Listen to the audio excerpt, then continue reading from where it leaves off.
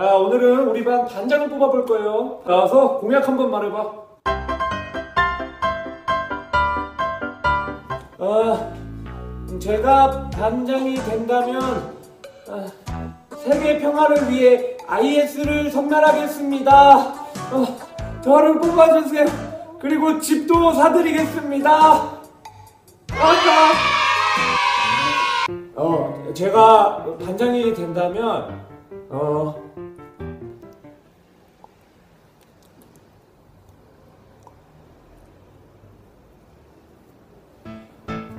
반을 위해 열심히 하겠습니다. 아,